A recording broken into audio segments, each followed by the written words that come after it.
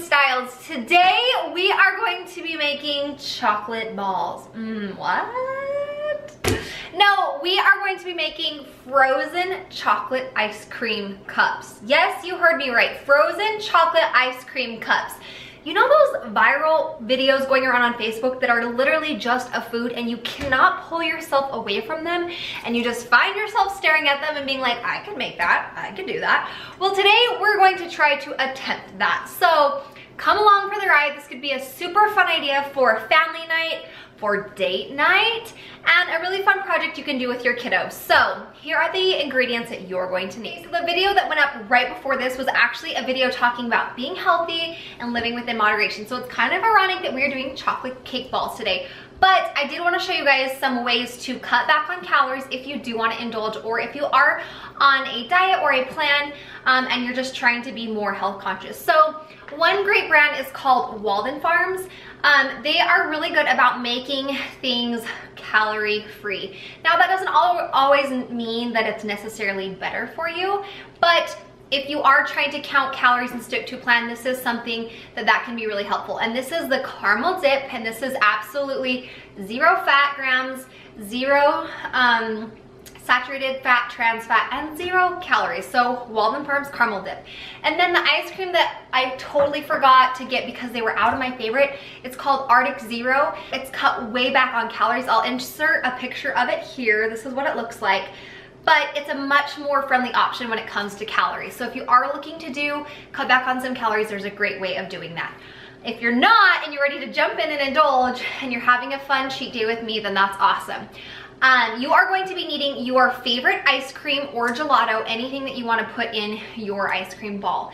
So this one is the Tahitian vanilla bean, and this is the this is a gelato, and then this one is the peanut butter pretzel. This one is for my husband, he loves peanut butter.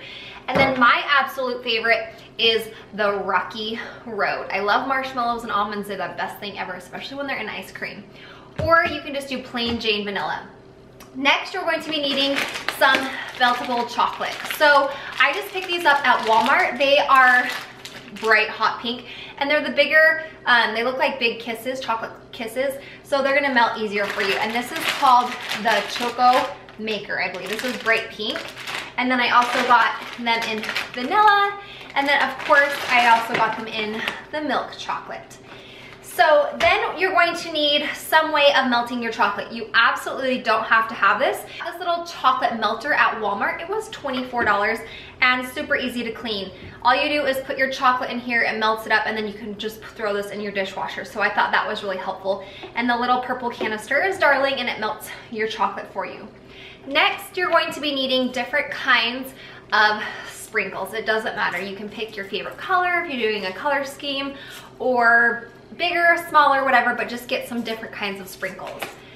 Then you're going to be needing parchment paper or wax paper, um, some paper plates so that they're easy to just throw away and your mess is easy to clean up. And then lastly, you're going to be needing some balloons. Okay, so what we're gonna be doing is melting our chocolate, then dipping half of our balloon into the chocolate, covering it in sprinkles, and then freezing them. And then we're gonna pop the balloon and the bowl is going to be formed to the balloon and we're gonna do, scoop our ice cream into the bowl, dress it up, and it is that simple. So let's get started.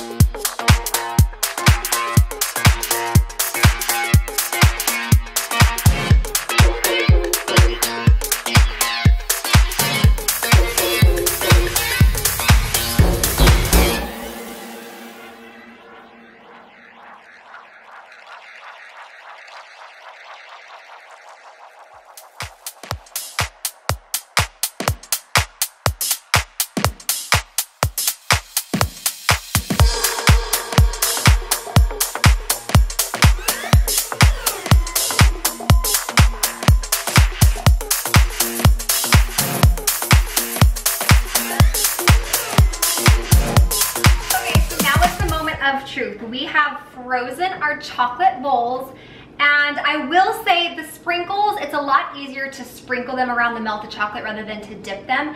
And the heavier sprinkles definitely will pull to the bottom, but I still feel like it looks pretty cute. So now all we're going to do is kind of pop our balloons, let some air out, and then just arrange them cutely on this plate, put some ice cream in them, and then serve your chocolate ice cream bowls. Voila!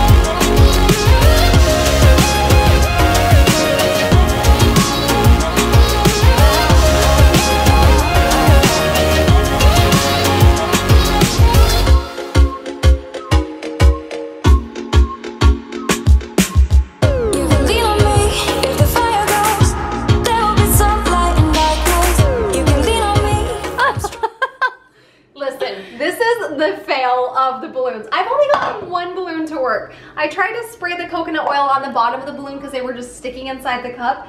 And then this one just popped and went everywhere. That's so funny. This is why I don't craft or do DIY. Your face was hilarious. so it's on your dress. Oh man, now I guess I have to go shopping. Oh, but it's kind oh, man. of like pull and tie dye. So anyway, yeah, DIY fail.